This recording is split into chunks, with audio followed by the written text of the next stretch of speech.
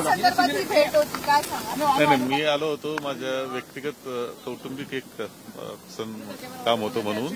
माझं काही कोणतं राजकीय काम नव्हतं.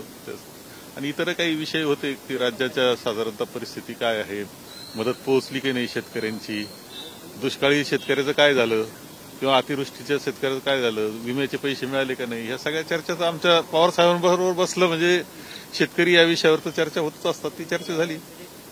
महाराष्ट्रामध्ये मोठ्या प्रमाणात दुष्काळ आहे राज्य सरकारचं दुर्लक्ष आहे नाही राज- राज्य सरकारला वेळच नाही ना. राज्य सरकार दिल्लीच्या फेऱ्यांमध्ये गुंतलेलं आहे.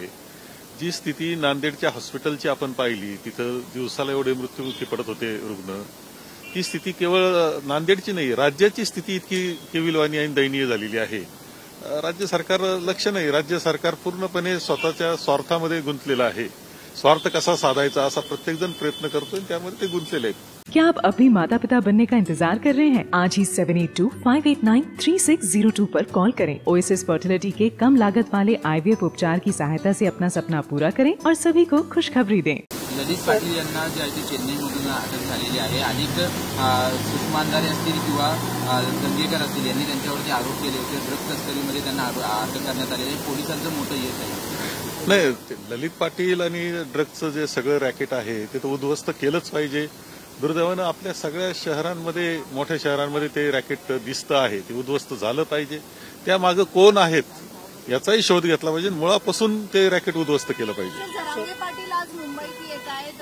अनेक माध्यमांना देखील ते भेट देणार आहेत चर्चा देखील करणार आहेत. जरंगे पाटलांचा मेळावा तर अभूतपूर्व होता असंच म्हणावं लागेल.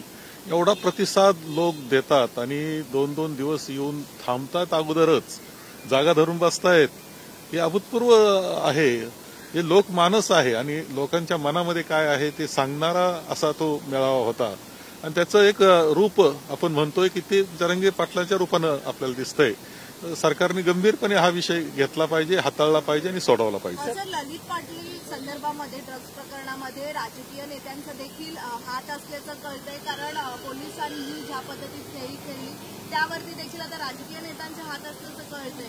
तेव्हा मी काय कोणावर एकदम आरोप करणार नाही परंतु ज्यावेळेस आता ललित पाटीलच हातात आलेला आहे तर तो शोध निश्चित केला पाहिजे. कोण असतील पाठीशी काय असेल याचा विचार न करता हे संपूर्ण रॅकेट उद्ध्वस्त केलं पाहिजे. आणि जे जे दोषी असतील त्यांना कठोर शिक्षा झाली पाहिजे. सत्ता पक्षाच्या नेत्यांवरती आरोप होते तर पोलीस सत्ता पक्षाच्या नेत्यांवरती ललित पाटीलशी संबंध असल्याचे आरोप होते. तर योग्य चौकशी होईल असं वाटतं का? नाही, मी तर असं म्हणतोय की याच्यात कोण काय याचा कोणाचाच विचार करू नये. कारण हा भवितव्यामध्ये भविष्य काळातल्या नव्या पिढीला जीवनातून उठवण्याचं काम चाललंय उद्ध्वस्त करण्याचं. त्यांचं जीवन उद्ध्वस्त होतं या सगळ्या ड्रग्ज प्रकरणामध्ये. कॉलेजच्या मुलांमध्ये ते जात आहे लहान मुलांमध्ये जाऊन पोहोचतं आहे. तुम्ही पुढची पिढी आणि संपूर्ण समाज खराब करण्याचं काम चाललेलं आहे. यामध्ये कोणीही असू त्याचा मुलाइजा ठेवू नये त्याच्या बाबतीत काही नाही. कोण असेल त्यांना ती शिक्षा झाली पाहिजे. सर आगामी लोकसभा निवडणुकीसाठी आता वारंवार अध्यक्षांना सुप्रीम कोर्ट सुनावताना पाहायला मिळते. काल देखील अध्यक्षांना असं सांगण्यात आलं की माध्यमांना मुलाखती कमी द्या आणि तुम्ही सुनावणी जी आहे ते वेळेत पार पाडा वेळ काढूपणा करू काय आता मान्य सर्वोच्च न्यायालय ज्यावेळेस सांगतं आहे आणि या शब्दामध्ये सांगतं आहे याचा अर्थ मान्य विधानसभेच्या अध्यक्षांनी ओळखून घेतला पाहिजे परंतु त्यांच्यावर इतका दबाव आहे भारतीय जनता पक्षाचा. त्याचा तो परिणाम आपल्याला दिसतो आहे. ते ते अध्यक्ष हे स्वतःचा विचार स्वतःची बुद्धी चालवत नाही का काय? असा प्रश्न आहे. ते निरपेक्ष असलं पाहिजे आणि निर्णय दिला पाहिजे. दुर्दैवानं त्यांच्यावर प्रचंड दबाव झालेला आहे.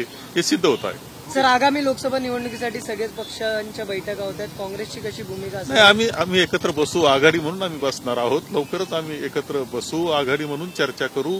आम्हीच्या जागा निश्चित वाटून घेऊ. जो निवडून येणार असेल त्याला ती जागा. हे साधं सूत्र आमचं आहे. आणि मला खात्री आहे की आम्ही तिघे एकत्र आणि आमचे मित्र एकत्र राहिल्यानंतर आमचं यश हे सुद्धा अभूतपूर्व राहील.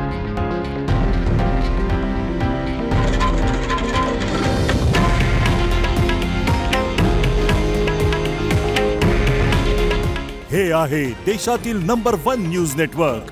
आणि आपण पाहत आहात टी व्ही नाईन मराठी. काळजी तुमची हित महाराष्ट्राचं.